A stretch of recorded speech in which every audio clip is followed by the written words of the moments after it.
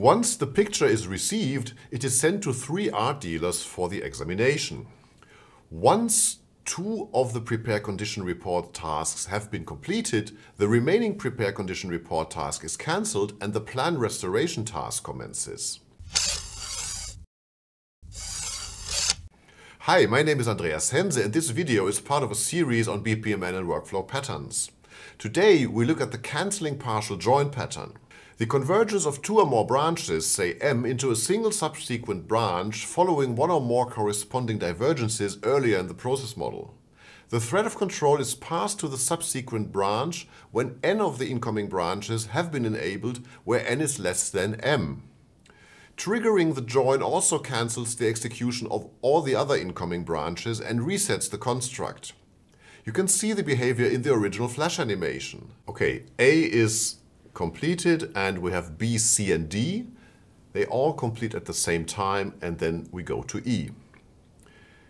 In the next case, we have A and then B, C and D.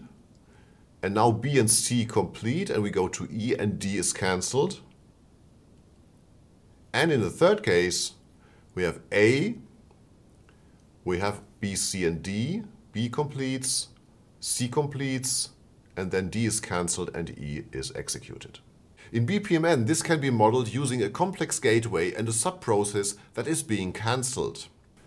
So here we start with send picture to three art dealers.